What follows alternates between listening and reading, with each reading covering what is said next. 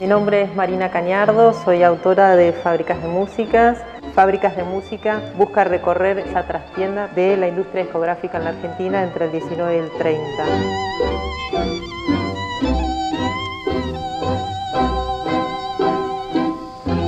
Idea primogenia era esa curiosidad casi infantil de cómo fue que empezó a circular el tango, cómo fue que empezó a fabricarse esa música que daba vueltas por el mundo.